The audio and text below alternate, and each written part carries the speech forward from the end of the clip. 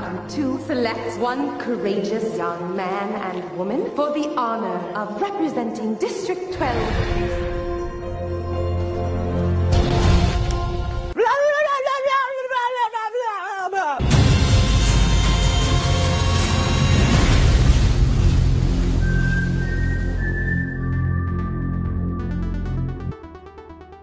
What's going on, gamers? Fahy here with another episode of the Fahy Games here on TRR.com. Today, we're going to be talking about some wide range of video game news, starting with that crazy thing they call a Kinect.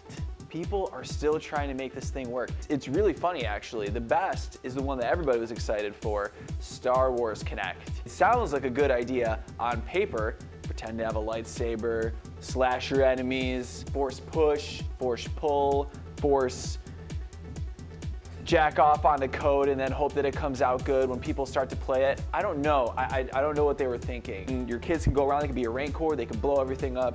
That's cool. Lightsaber games where you're like going, you're fighting, you're dueling people. Go like this.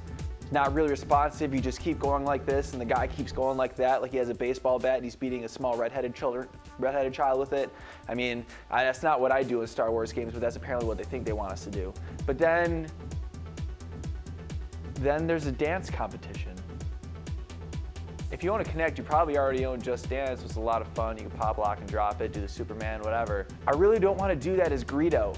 There's a dance-off where you're dancing at Jabba's palace, doing these crazy moves as Princess Leia, showing a little too much skin, which showed me, you know, I do like women. I, I, don't, I don't know why they decided to put a Star Wars dance competition in there. This game is not directed towards adults. If you are a fan of Star Wars or anything that's right in the world, please stay away from this game. If you have a small child that likes knocking over everything in your kitchen, this game might be for you.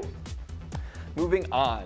I guess people from Florida don't like EA games because they sent thousands of letters saying, we don't like that you are putting lesbian and gay relationship choices in your games, directly referring to Mass Effect and Star Wars Knights of the Old Republic. Now, if you're like me, I chose a female character just to do this. I'm not a lesbian. I had female Shepard, doing it with Liara whenever I could. That was my main goal throughout the game was to do that. There's nothing wrong with that. Lesbian badasses, females kicking ass. That's what the 70s was about, wasn't it? Dragon Age did this too. That one kid, the the uh, the paladin, the paladin dude was pissed when uh, my character had sex with that one lady. Mistakes, love triangles, bad news. The the people from Florida, the old people, who I'm assuming that they're old, but you know whatever. The old people from Florida said that extremists made EA put lesbian and gay relationships into their games. EA stated clearly that, you know, this wasn't meant for anything other than to be just another option for people to have in the games because like I said before, EA likes to put options in their games. Next thing I like to talk about, Google's Project Glass. Now, yeah, I know you're saying this isn't some sort of peripheral for the Xbox or the PlayStation, but if you've seen this, this is glasses, not much, you know, dissimilar from what I'm wearing. And what it is, is it gives you a HUD. In the video that they were showing, it had capabilities to, for voice recognition to send text messages, start phone calls, uh, view a calendar, maps, do video chatting, all of these different things. Here's what I'm thinking. This kind of looks like that the little viewfinder indicator that, you know, the Saiyans wore in Dragon Ball Z. If this is the case, then they need to be colored. I need to get a haircut, and all I'm going to do is go around telling people their energy levels and then make fun of them. But then walk away, they'll probably make fun of me. But either way, this is a really big potential for like gaming. So what if like a part of Foursquare, you check into somebody, somewhere, but somebody's already the mayor? You like get this huge avatar and you see their avatar and then you start battling like fire rocket launchers and then like you're battling in the street, but you're really just looking at your glasses and like you're going like this and shooting stuff. I think it could be really cool. Moving on, a leaked email. Leaked email. I don't get it. it. It has like the date in it. I don't understand how it's leaked. Somebody gave this information to somebody else and it, I digress.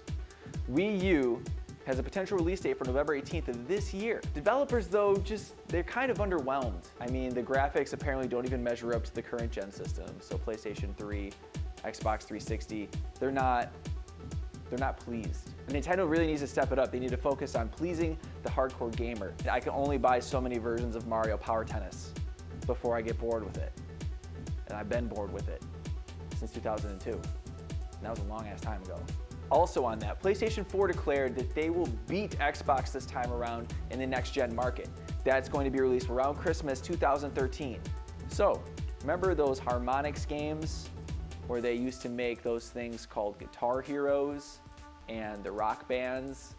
There's a thing called Rock Band Blitz where you can play using your controller to all your popular, favorite popular music, like Say It Ain't So, five times in a row.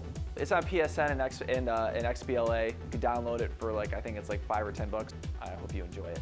Well, that, that's all. That's all I got for you today. Be happy I didn't talk about Assassin's Creed or Mass Effect 3. I was really fighting that for a second. It was an urge, but I fought it.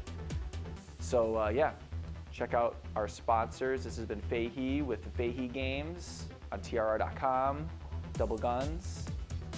See you next week. Turn off now. Pow pow pow. Blast the camera until it turns off.